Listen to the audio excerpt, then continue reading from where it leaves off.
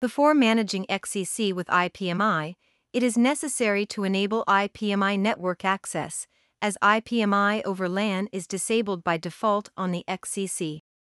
This video demonstrates the steps to enable IPMI over LAN in the XCC2. Log into the XClarity controller. Click BMC configuration. Click Network. Click Service Port from the Quick Link navigation bar. The service enablement and port assignment will be displayed. Click the switch to enable IPMI over LAN port 623. A warning message will be displayed stating that corresponding user permission is required to set in the user LDAP page. Go the user LDAP page, click the edit button next to the corresponding user.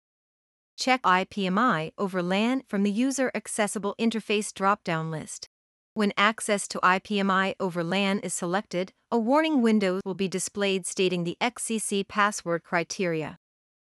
Follow the XCC password rules to set the credentials. Click Apply. The user has been modified successfully message will be displayed. You can manage the XCC using the IPMI interface now.